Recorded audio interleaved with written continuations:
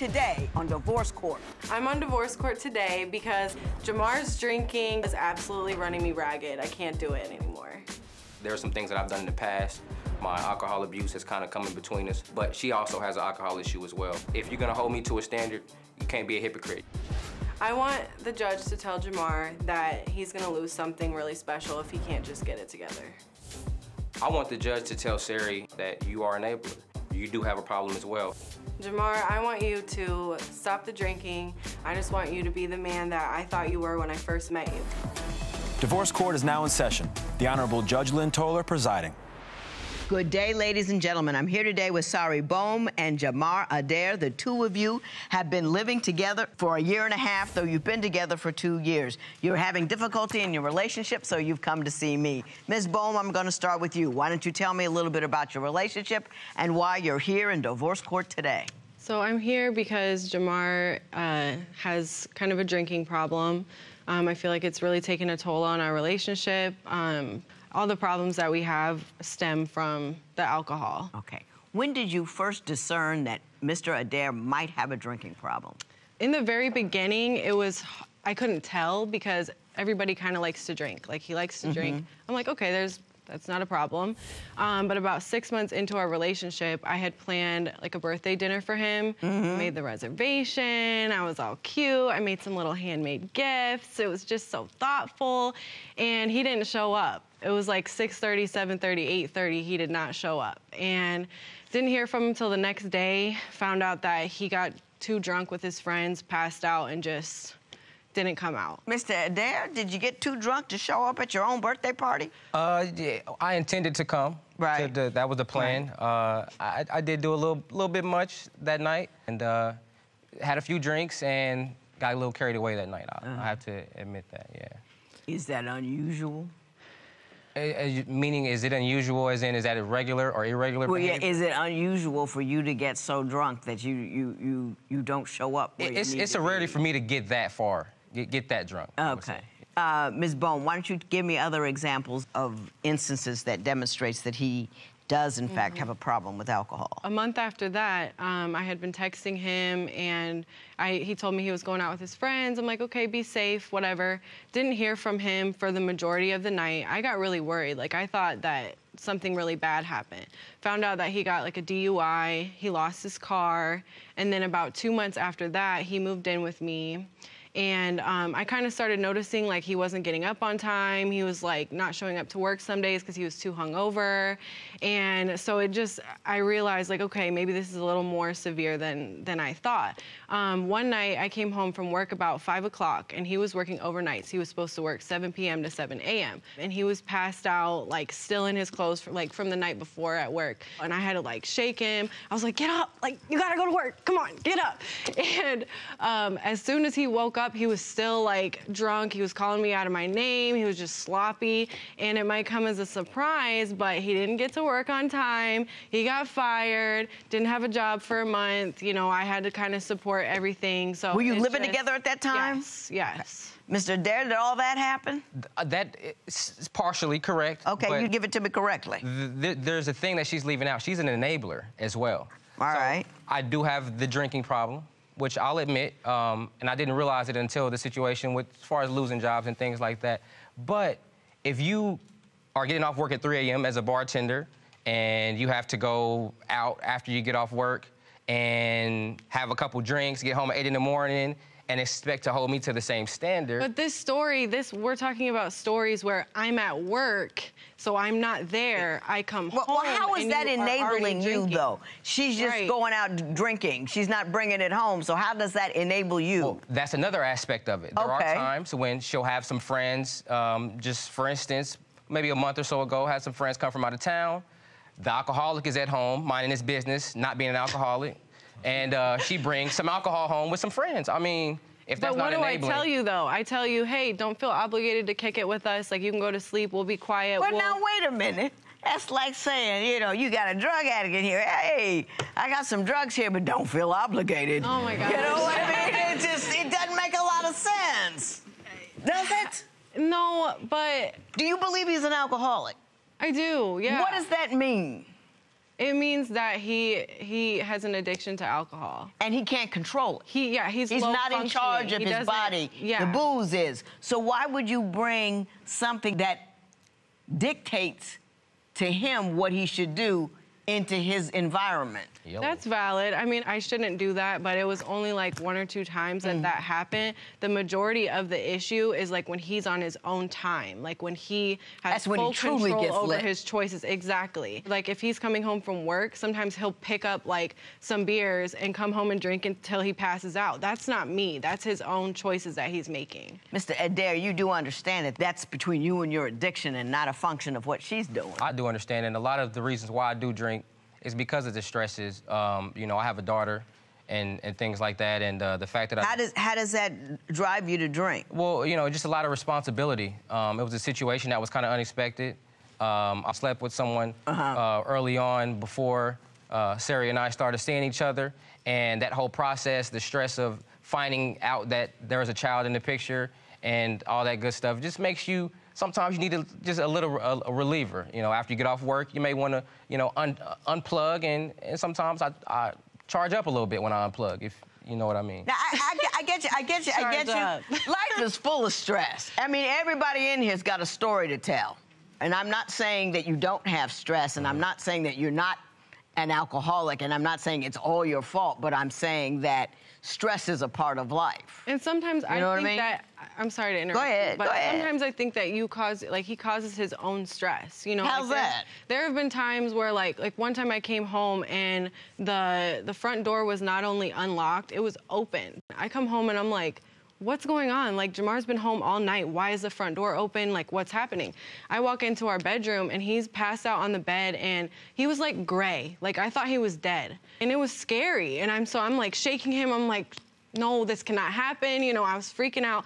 And once I wake him up, he was angry that I woke him up out of his sleep. And I'm like, but you left the front door open and you're passed out and I thought you were dead. Like, how can you be mad at me right now? And so, like, these things compile on top of each other. And then he drinks because he's stressed about the fact that he drinks. And, like, he, you know what I mean? Right, Like, yeah. No, it's, a vicious just- cycle, and yeah. you, can't, you can't get out of it. Mr. Adair, would you care to correct any of that or I mean, well, shit, address that, it? that is a, that is a true story. I mean, that's that did happen. Uh, but the thing is, like, I'm I'm in a position where I'm trying to, I'm going through some procedures, taking some treatment, doing some, taking some classes, and I have been more responsible lately.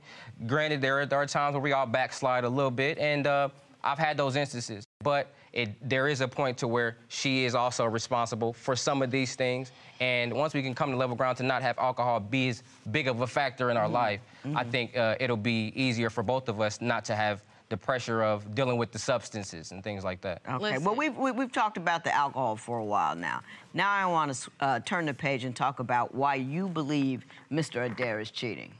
I knew he was texting this girl that he was friends with, but I woke up and he was gone. And I check on my phone and there I just see the little car. going away, yeah. It's driving up into the boondocks, and I'm like, you're spending my money to take a ride to go see this girl at one in the morning.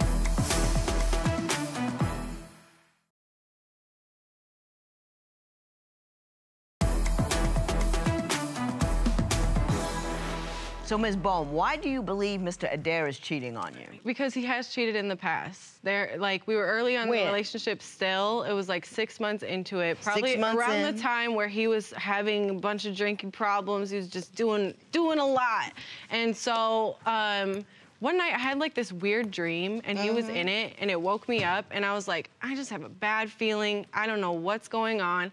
Lo and behold, he texted me. He's like, Hey, I have something to tell you. And I'm like, what could that be? Like I knew, I already knew.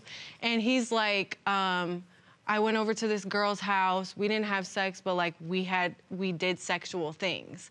And I'm like, wow, you know, like I understand that drinking can inebriate your judgment or whatever, but like the fact that he's done that before kind of makes me question stuff. And I'm pretty chill about things. Like I'm okay with you having friends that are girls, you know, like I encourage mm-hmm. that. Absolutely. Have friends, friends This of all is six kinds. months in. Yeah. And like there was another time that I woke up in the middle of the night. I knew he was texting this girl that he was friends with, and I was cool with it. Like I didn't have any reason to be like weird about it. But I woke up and he was gone. And I check on my phone and there I just see the little car. Car going away, yeah. It's driving up into the boondocks. And I'm like, you're spending my money to take a ride to go see this girl at one in the morning. And then he comes back at like 6 a.m. saying they didn't do anything. I'm So, like, can you tell me about this young lady? So the, the situation that she's referring to when I made a mistake, um, had an intimate encounter with uh, A young lady. Yeah, a young lady that I know. Um, that was something that it I, before Sari and I, um, I had some relationships with, with people that, they weren't as healthy. So I was in a position to where I was kind of like still not fully invested, but still trying to like show some consistency, and I was being inconsistent. So and my my mind wasn't fully committed. He was so like- that. Uh, he couldn't decide. that happened because I, I was the state of mind I was in. I wasn't really fully invested. That was a mistake. Now the situation with the girl, it was her money that I did spend to get the the ride, um, and I did go over to the young lady's house, friends. You know, nothing nothing happened. But I'm not cheating. I can guarantee you that I'm not cheating. Knowingly. I'm not When you cheating. get inebriated, you're not quite sure what exactly goes down, I've only had a couple. I've only had like maybe two instances where I've been inebriated beyond like being, being able to remember. But these particular situations, like I'm together enough to be able to, to, know to what's know going what on. know what's going on. Yeah. Well, I'm gonna move on to the next subject. You say that you know not only is he drinking, not only do I think he's you know ride sharing about to see other women that the sex life at home has slowed to nothing. I got some lingerie. It was like lacy and, you know, the cheeks was out. And he walks in the door and he's just like, oh, you look good, babe. And then, like, he went and grabbed a, a beer out of the fridge and plops down on the couch. I'm like, well, have sex with your beer then. See how that goes over for you.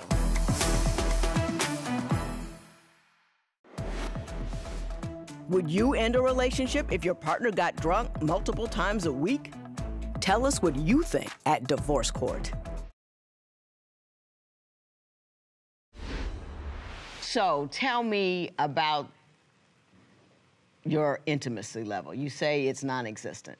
Yeah, we're just not on the same page at all. I feel like um, there's no passion there, and I think part of it is like I'm physically attracted to him, but it's hard to be attracted to somebody when they can't even get up for work on time. Like I'm like, how do I, how can I get that passionate emotional feel when like it's just sloppy? He's an Like- ongoing sloppy prop. yeah. But I've tried to bring the sexy back a little bit. You know, one time I made like a special trip after work. I got some lingerie. It was like lacy and, you know, the cheeks was out and, you know, like I was ready.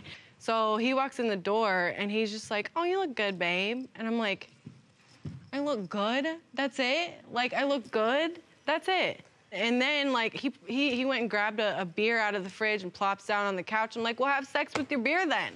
See how that goes over for you.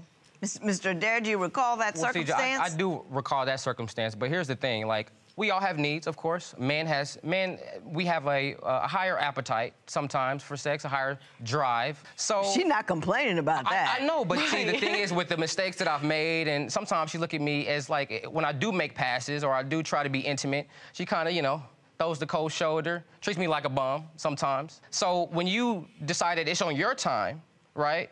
You're ready for me, so now I'm just supposed to give you what you, and it don't work like that, Judge. I'm sorry. So at that particular instance, Because she's refused you in the past, and now on I'm this supposed to just particular day, she decides willing, she's yeah, ready. when it's- when it's- when it's- Do you understand why she's refused you in the past? uh, I, I, I do understand. it, it's hard to be romantically involved with a guy who's just sloppy drunk. She's got to treat you like you're five. You got to close the door for you. She got to wake you up. She finds you in the closet with your blankie. It's hard. Do you understand what I'm Yeah, it makes sense. I It's not. yeah. It's not romantic. It's not an aphrodisiac. It doesn't make you say, "Hmm." Not at all. True. Yeah. True. But I've tried. Like, I've tried. You know what I mean? So, do you, has she refused sex for an extended period of time? Um, it's always I'm not in the mood or I'm sleep. She gives these excuses, and I'm like, okay, you know, and I take it as being, you know, that is, that is what it is. You But- still have concerns that he still has feelings for his ex, though, don't you? yes. Why is that? This was earlier on too. We had had like a little getaway weekend together. It was a great time. we were in the car and there was just like an R&B station on or something, and I'm just looking out the window. I'm like, that was such a good time. Like, wow, that was so fun. I look over and he's sobbing. And I'm like, are you crying because you love me so much? Like, that has to be it. No, I asked him what was wrong. And he's like, I miss my best friend, bro. And I'm like, who's your best friend? Did something happen? Did somebody pass away? He's like, I miss my ex, bro. And I'm like, He called you bro? He- well, like just the way he was saying it. I don't know if he called me bro or what. Uh-huh. But it was a- it was a bro it was vibe. like It wasn't bro as dramatic Because he wanted me to be like, oh, it's gonna be okay. She'll come back. Did you, or something did, you- like did that. you What do you want whine me to to your say? new woman about Listen. m- missing you your old say? woman? It wasn't that dramatic. It wasn't that dramatic. You know, we listened to a song, and the song, you know, kind of took me to a place, and a t- couple tears went, went down, and she happened to look over He was when the tear was when the tear had Which it started, came on when it down, came so- down. So, so Just I- bad timing. Yeah, it was just bad timing. I'd have, you know, it would have been just a done moment. And I, but I wanted to be honest with her. And um, at that point, you know, I was feeling like I, I needed to be more invested in the relationship with Okay, her. okay, okay. And, and I got you. And it was just, you know. I, I, I get it. I understand completely. I understand completely. And I got something to say. What would you do if your partner cried while reminiscing about their ex? Share your opinion on Twitter and Instagram at Divorce Court. Divorce Court will be right back.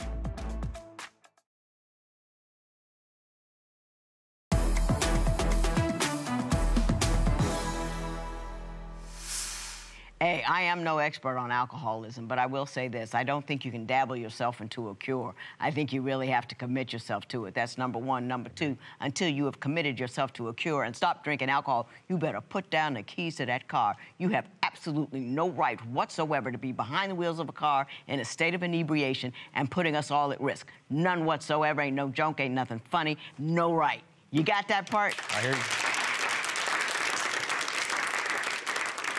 If you were my daughter, they would be pulling me off you right now. I'd be smacking you in the head. Listen, six months in, his cat's sloppy drunk, DUI, crying over his ex. Why is it that women don't know when to leave? You didn't have anything invested in him. You don't have mm-hmm. kids together. I mean, is, is, he- is the la- last free guy in your city? I don't know. But I just don't understand. There's nothing to recommend him. You know, you like him. He's cute. I don't know if he's good in bed or not. But you can get that anywhere. Yeah. Why commit your life to a person who is so addicted to his substance that he can't get up for work? Why stick it out when you've got nothing invested? I just don't understand that. I get woman after woman after woman coming in here putting up with all kinds of. Not- you could do bad all by you. I'd rather be alone. He comes in drunk, leaves the door open, somebody comes in and rapes you. What is that? He's not responsible. He's not caring for you. He's pointing at everybody but the cat in the mirror. Oh, there she's telling him she loves him. Now I'm just done. Do what you want to. But when you wake up five years from now and this stuff is all jacked up, remember I told you so, because I told you so. This matter is adjourned. So you want to make this work? I do. I just, I believe in him and I just want him to, like, I just want him to tap into the potential that I see because there is, like, he doesn't have to let that addiction control him. What are you willing to do now uh, in order to prove to her that you know you're there for? her? She wants you, man. She's in love with you. I mean, sim- simple as, you know, it's just being sober. And at the end of the day, uh, if that's what I need to do to continue, you know, the future with Sari, then that's hands down, it's done.